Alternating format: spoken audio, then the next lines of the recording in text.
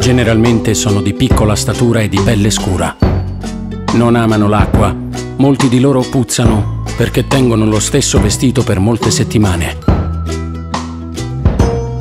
Si costruiscono baracche di legno ed alluminio nelle periferie delle città dove vivono vicini gli uni agli altri.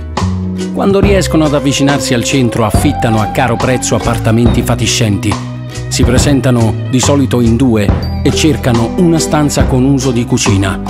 Poi però dopo poco diventano quattro, sei, dieci. Tra di loro parlano lingue a noi incomprensibili, probabilmente antichi dialetti. Cigarette, s'il vous plaît, do you remember my name? Tuo fa l'americano, thank you paisa, tell me what's your name?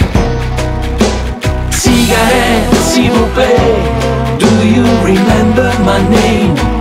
Tuo fa l'americano Thank you but don't wanna play your game Fanno molti figli che però faticano a mantenere.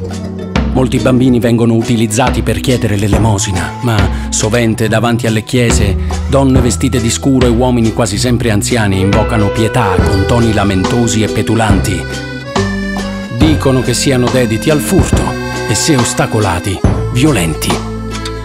Le nostre donne li evitano, non solo perché poco attraenti e un pochino selvatici, ma perché si è diffusa in giro la voce di alcuni stupri consumati in strade periferiche quando le nostre donne ritornano dal lavoro.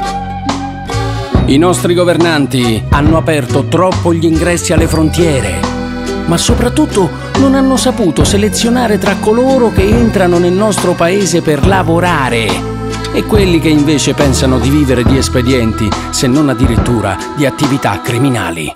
Cigarette, s'il vous do you remember my name? Tuo fa l'americano, thank you paisa, tell me what's your name?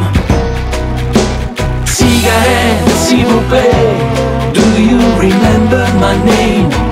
Tuo fa l'americano Thank you but don't wanna play your game Questo testo risale all'ottobre del 1912 ed è tratto da una relazione dell'Ispettorato del Congresso americano sugli immigrati italiani negli Stati Uniti d'America.